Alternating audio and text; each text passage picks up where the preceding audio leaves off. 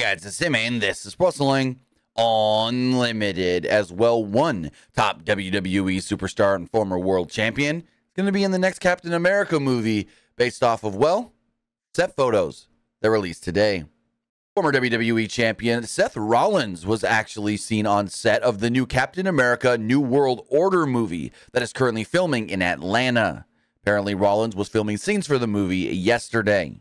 Now, as far as what character Seth Rollins is going to be playing, we don't know exactly, but we do know that he is a member of the Serpent Society. Now, all we know for this upcoming movie is this is going to be the first movie that Sam Wilson is Captain America, and it plays directly off of things that happened in The Falcon and the Winter Soldier on Disney Plus. Now, as far as Rollins' character, the Serpent Society is a villainous group created by the Sidewinder, who all have costumed identities based on different snakes. Again, Serpent Society.